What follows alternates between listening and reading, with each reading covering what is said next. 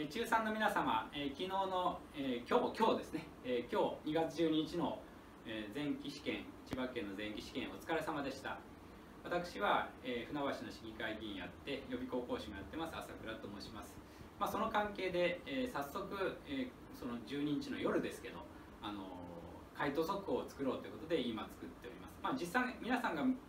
ご覧になるのは13日だったり14日だったりするかもしれませんけど、まあ、後期に向けて一応前期の結果いろいろあったと思いますけど後期に向けて前期の反省点を、え、しっかり反省して、え、後期に向けて勉強している時期だと思いますので、え、前期の部分しっかり反省あの復習していきましょう。それでは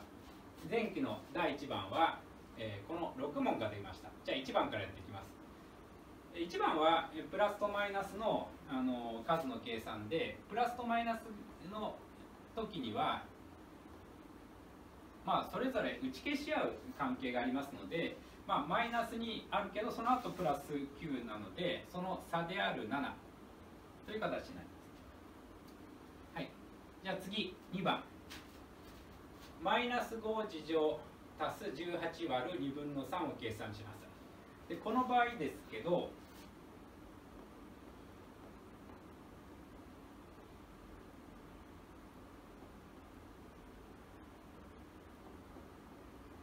これ3つの数の計算です。この3つの数の計算の時にある約束があります。ここが足すでつながれててここが割るでつながれてますね。でえっと3つの数3つ以上の数のあの計算の時にはかける、え、や割るの方を足す引くより先にやらなきゃいけないです。だから例えばここを最初にこうやって計算しちゃダメなんですね。こっちが割り算なんでここを計算しなきゃいけないので、まあ、まずここを計算してみましょう。でそうすると18で分数の割り算はひっくり返って掛け算なんでこうなります。でこれは、まあ、これ3で約分できません、ね、6×2 で10になりま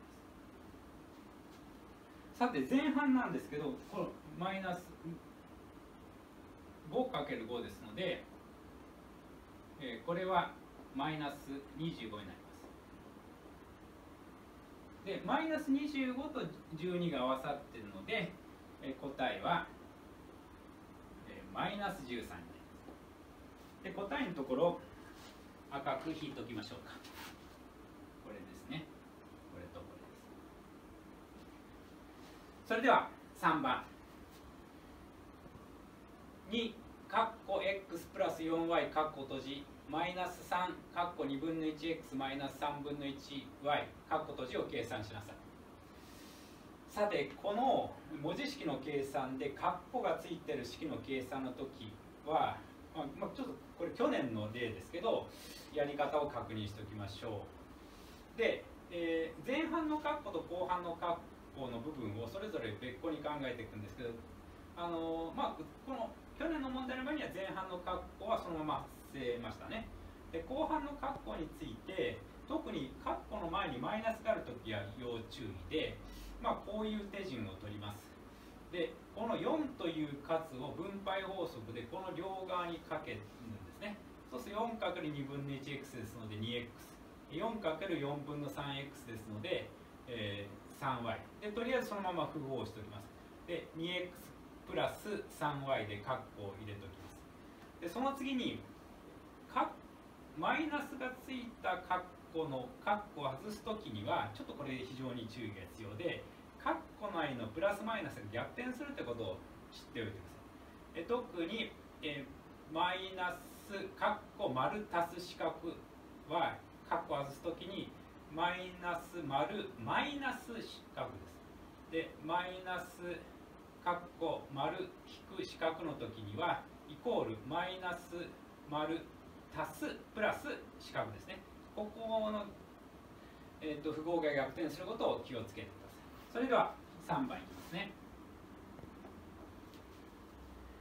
2x プラス 4y マイナス3 2分の 1x マイナス3分の 1y はいじゃまず前半の部分ですね。前半の部分はこう2を分配法則で 2x プラス 8y になりますで後半の部分は、まあ、とりあえずマイナスを残しときて2分の 3x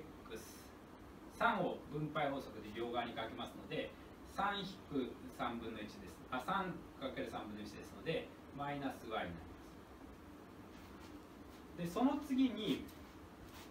ここですねでこれはこのまま残ってこのカッコを外す時、まあ、これ要注意なのでちょっと赤で強調しておきますけどここは青で強調しましょうか。答えの別だから。2分の3これ括弧を取るときには2分の 3x ここでマイナスマイナスここ逆転するんですね。プラス y プラス y ということになります。このプラスになるということを気をつけてください。ここまでいいですね。それでは最後にこの x は x 同士 y は y 同士でまとめていくと 2x マイナス2分の 3x 足す 8y 足す割りですので、整理をして2-2分の3ですから2分の x2 分の 1x でもいいですけど2分の x プラス 9y こういう形です。これが3番の答えですね、はい、ここまでよろしいでしょうか、はい。